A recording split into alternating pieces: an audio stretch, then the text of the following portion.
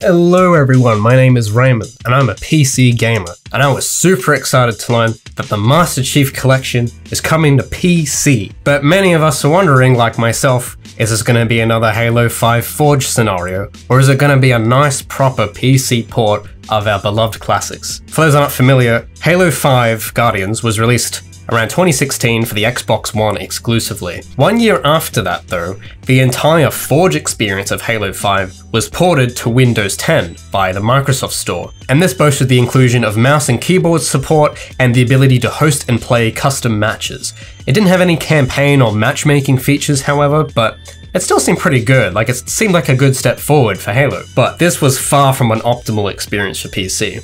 Firstly, the frame rate capped at 60 frames a second. There was also no option to change the field of view, you know, which is kind of important for a first person shooter. So that super zoomed in, like motion sickness sensation you're looking at, you can't change that. That's that's that's it on PC. That's what it is going to stay at. Also, the mouse input was really clunky, and I, I still don't really know how it works or anything.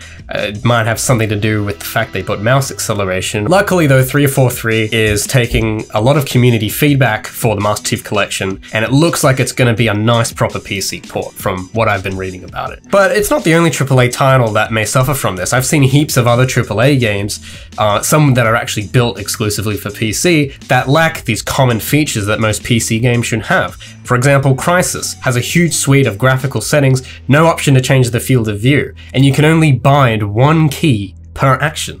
So the point I'm trying to illustrate here is that when you're developing a game for PC, I think it's important to put some thought into making the game customizable for all the different types of setups that people might be running.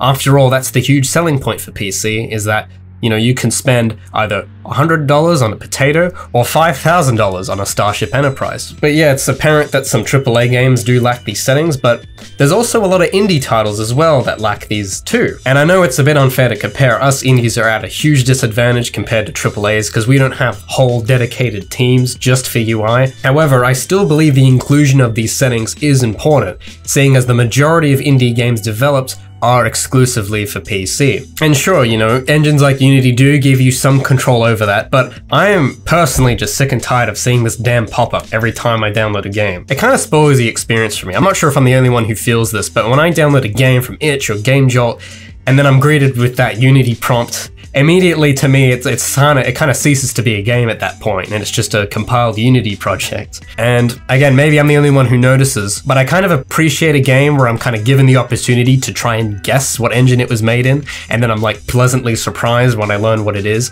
Like let's say i'm playing inside for example and then i learn that it was made in unity and i go wow i never would have guessed because it looks so damn good. They completely immerse you in the game that you didn't even try and think about what engine it was made in. And that's why i'm proud to announce that you will not have to worry about anything settings wise for the, the rest of the Project Feline development. I've worked vigorously over the past two months in the Unreal Engine to build a full PC settings menu for Project Feline. So without further ado, let's get into it.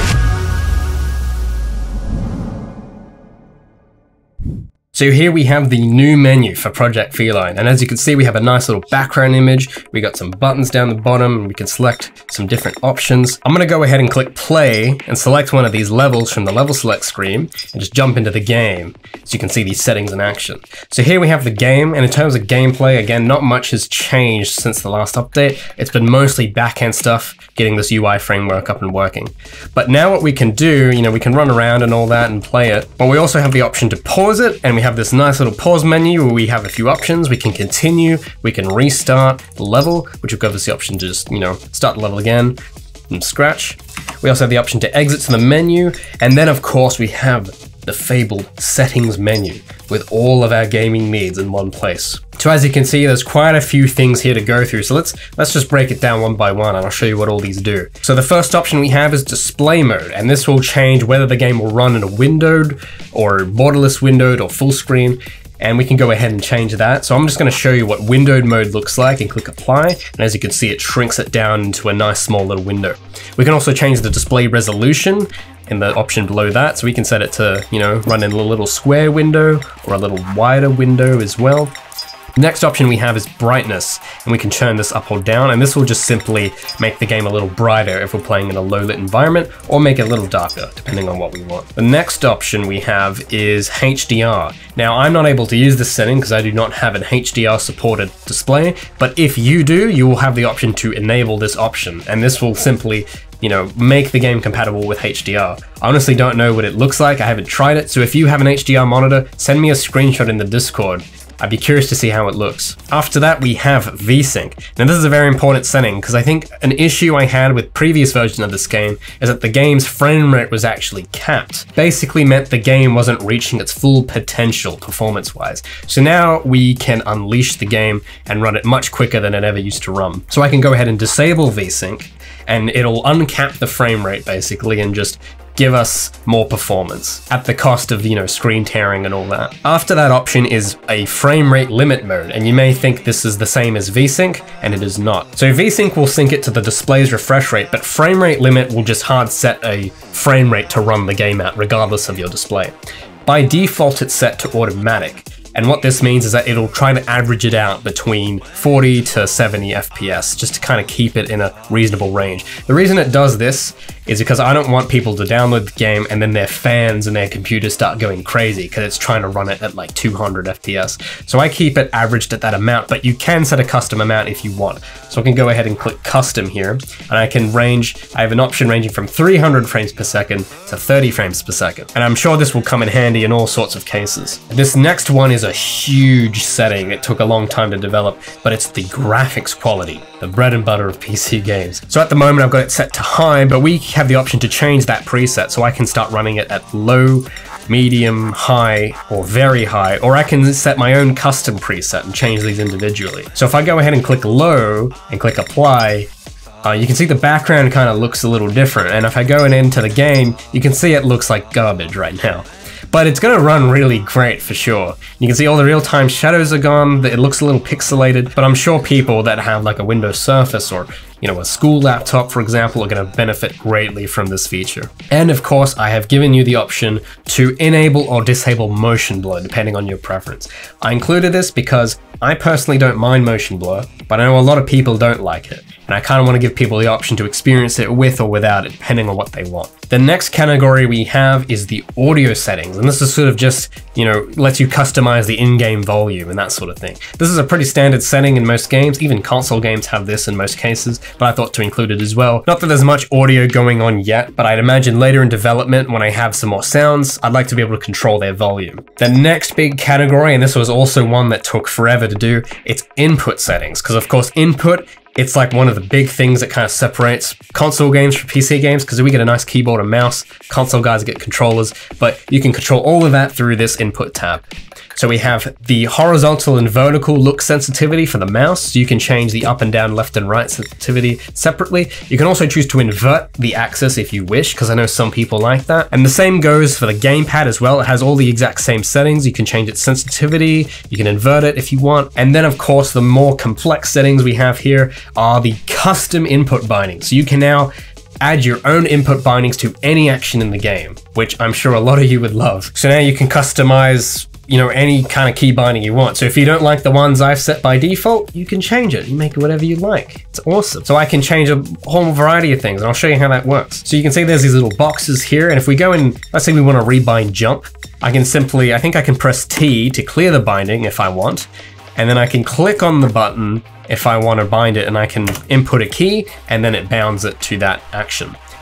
If, however, I want to bind, let's say I want to bind spacebar to crouch, but it's already bound to jump, I can simply just do the same thing. I can click on crouch, press spacebar, and it'll actually remove the spacebar from its old binding to the new one. And that actually took a long time. You'd be surprised how long that took to develop, but it works and I'm super happy it does. And of course, our final set of options, we have a field of view slider, that's right. So I can go ahead and crank this all the way up, and then check that out. Boom, it zooms me right out. I feel like an epic speedrunner PC gamer now. Or if I want the console experience, I can turn this all the way down to 70 degrees and play it on my TV and, you know, it kind of feels more like a console game now. So that's cool. I know a lot of you have your own, you know, a lot of people like to play at super wide angles and all that. And finally, you can change the opacity of the HUD if you wish. I know there isn't much HUD elements on there at the moment, so this may not make too much of a difference, but it's a setting I see very commonly, and I thought it'd be cool to add it in. And of course, in any of these categories, if you end up changing something you wish you didn't change, you always have the option to click reset, and it'll just clear all the settings and reset them to the default values. And there we have it, guys, the full set of PC settings for Project Feline. If there's any settings I missed, feel free to let me know in the comments or in the community Discord. I'm open to suggestions. I love to hear what you guys think of it, and I'd love to see you guys try it out for yourselves. So all of these new features are available in a new version of the game, which I've linked down in the description. So make sure to try it out. Let me know your thoughts. I'd appreciate it greatly.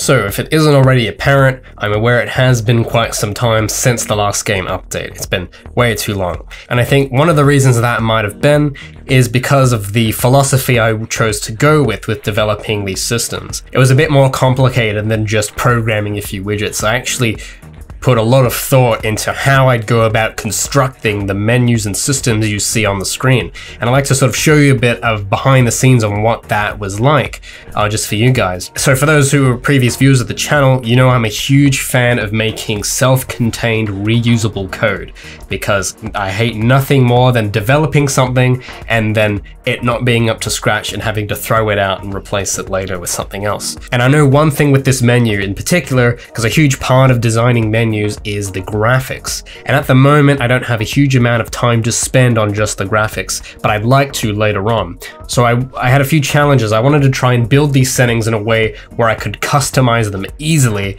and only have to click a few buttons if I wanted to change how they looked or anything like that. And I also wanted to build them in a way where if I wanted to change how one of the settings worked, it wouldn't break everything else. So understandably, this was very challenging, but I figured out a way to go about it that I'd like to share with you guys. So this is what the menu is. This is the menu widget. But each one of the settings you see inside the widget is another widget itself. So each one of these little things is its own widget that I've programmed. And it makes it really easy because if, let's say I wanted to add another setting to this, I could just type it in, search my user widget, and you can see I have a bunch of settings in here from all across the game. So if I wanted to add in a volume setting to this panel, I could. I could find the sound effects volume and I could just literally drag and drop it into the list. And as you can see, there it is, effects volume. And that's just how easy it is in that sense. But to get it to that point was really difficult. And I know I sound a lot like Todd Howard right now, but it actually does just work. Because of how I've built it, dragging and dropping the setting in, it'll know what to do when it's loaded, applied, saved, anything.